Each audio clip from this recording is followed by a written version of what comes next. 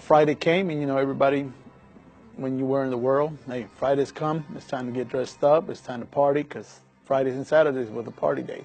But that Friday, I just, my, my heart, my, my spirit, my mind, it, it something just, from that morning, it was just something like, I just felt that I, I wasn't supposed to leave the house. Friends started banging in the door. Bam, bam, bam, bam. Hey, what's up? You coming out or what? Something told me, don't respond to them. Don't answer the door.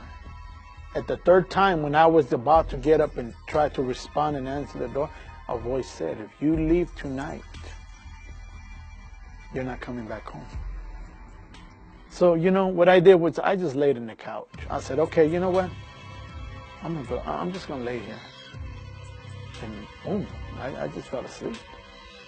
When I fell asleep, not, not, I don't know how long I was asleep, but all I know and I remember is that when I closed my eyes, as soon as I closed my eyes, I opened my eyes. I can see myself laying in the couch. And my face was stuck in the ceiling. I was upside down. And next thing you know, I start moving in circles slowly, but I'm going faster and faster and fast. And, I, am starting, I'm, I'm speeding up here. And the faster I'm going, I can hear these voices, real demons, like wicked voices just laughing at me. Next thing you know, I find myself in this dark place. Dark. Like this light just started shining. And it allowed me to see these things. And then suddenly, I see five demons five demons that are around me. And what I can see with these demons is that some of them have real big mouths, like rats. Some of them looked like bats.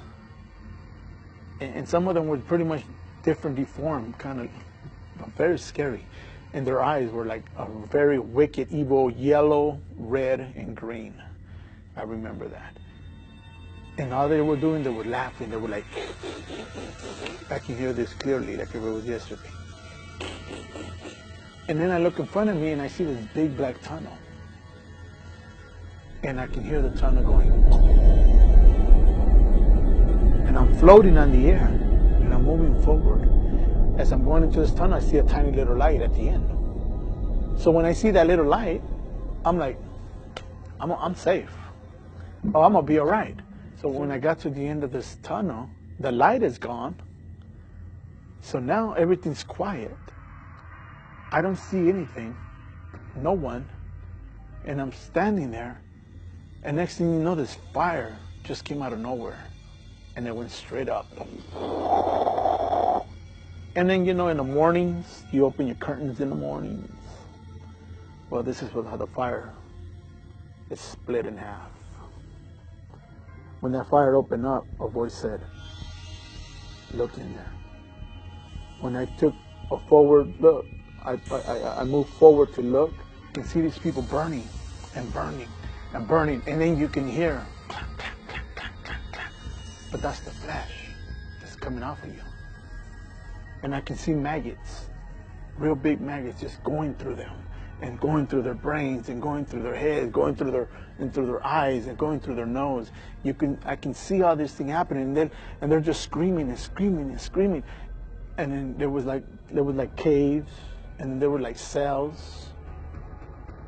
Um, there was more trees that were just dead. The air there was, I mean, there's no air to breathe. I mean, there's it's, it's suffocating in there. There's no water. There's no food.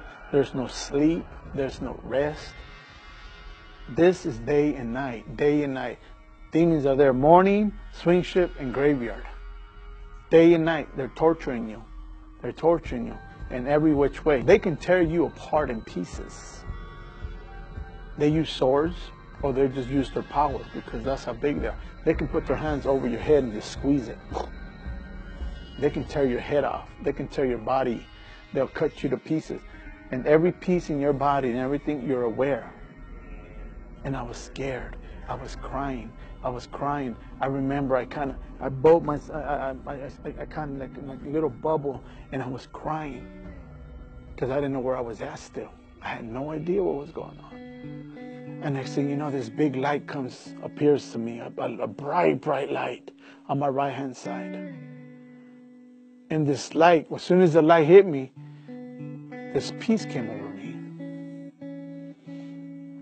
And I see this big, tall, beautiful angel, about seven, eight foot angel, big, real long, beautiful blonde hair. And he had this smile, like he was so peaceful. It was such an amazing peace. I, you know, I, I, I knew it was an angel because I mean, you can't miss that.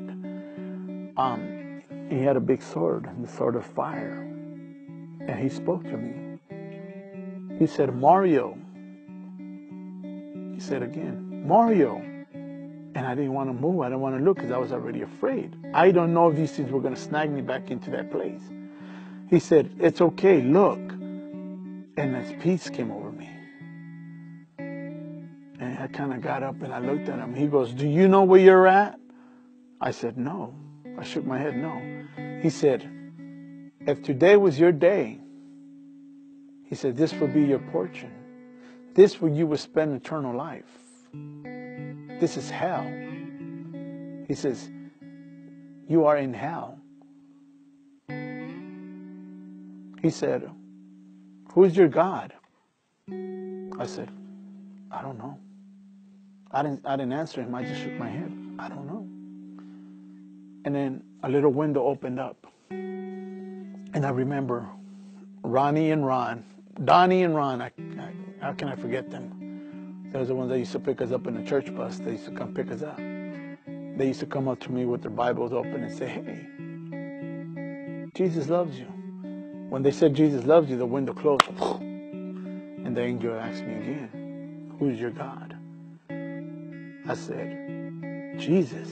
He said, Scream it. Scream it out loud, he said. I said, Jesus. And it just, his name just echoed through these tunnels. Jesus, Jesus, Jesus. And then,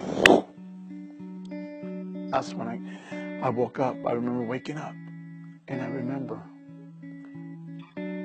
those two brothers, those two brothers again, when they said, when I accepted Jesus when I was eight years old, but I walked away.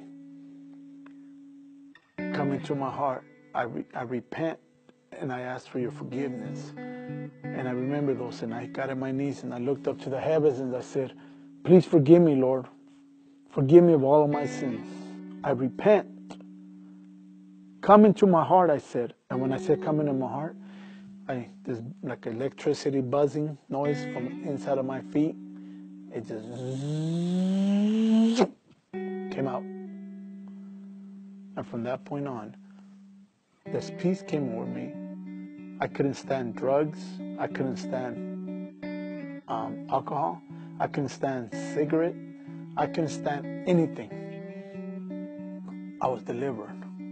And I felt that day, that night, like I never did drugs. I never smoked.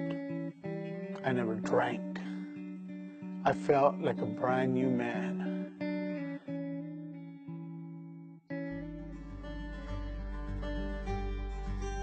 2004 when I was asleep at my home one day and God sent an angel to my home and shot me up to the heavens. And that's where I knew my walk, the prophetic walk that I have with God. Because when he came to me, when I seen the heavens and I seen his I seen the mountains and I seen the rivers and I seen the fruit and I seen the angels and I seen kids and I seen how beautiful it was up there and the love that's up there is an amazing love. But when this angel took me up to the heavens and I seen God's throne in the middle in the center of the temple of the God's people. Angels blowing the trumpets. It's such. It's, everybody think God's quiet. No, God's loud. God is praising, worship, everything, every day and day, day. There's no dark. There's no night up there. There's no darkness. Just joy, just love, just peace. This love was overwhelming. That, I, you know, I thank God for allowing me to bring. That He allowed me to bring some of that, that love back into the world. I said, and that's where I knew my walk was with God when he came to me. I couldn't see him from his face, but I seen him from his mouth down, and his sandals and the hose in his hands. And he spoke to me. He said, he said, my son, you have been sent by me. He says, I called you. Before placing in your mother's womb and out of your mother's womb, I have called you. And I'm going to move you into the nations, and wherever I take your feet, you're going to deliver my word. He says, I called you and I showed you these things, heaven and hell, because I want you to let my people know that it's real. Worry not and fear not what people think about you. The rest is in the palm of my hands. All you need to do is let them know the truth about heaven and hell, and the rest is in my hands. He says, I have ordered me a prophet, and I will move you in a mighty, powerful way, that you, your own eyes, will not believe how I will move you to the nations. He says, Go, my son. Go. Rejoice in my name, he says. And go and let my people know that I'm coming.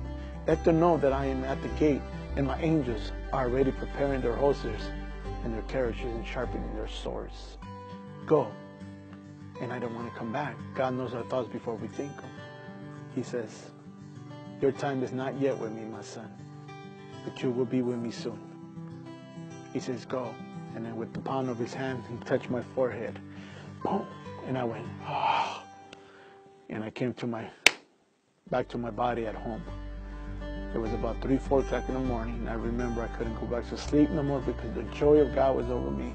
I was praising the Lord. I was crying. I was full in the Spirit of God. And I couldn't wait to get to work to speak to all these Mormons because there was nothing but Mormons. They, they, they believe in different than what we believe. One God, one throne, one accord. We don't add, we don't take from the Word of God, but we believe in the fullness of the Bible from A to Z. But you know what? I praise God because that fire and that joy and that power of Him, I thank Him because He allowed me to move into that building where we worked at. And every Mormon that was there dedicated their life to the truth of repentance to God. And I got a hold of them not too long ago. That now they're serving the truth God in the right way that God needs to be served. God is good and God is real. So we just need to call on Him, be strong, because no matter what you're going through, at the most, the most at least that you feel alone, that's when God is with you more. He loves us. He's always with us.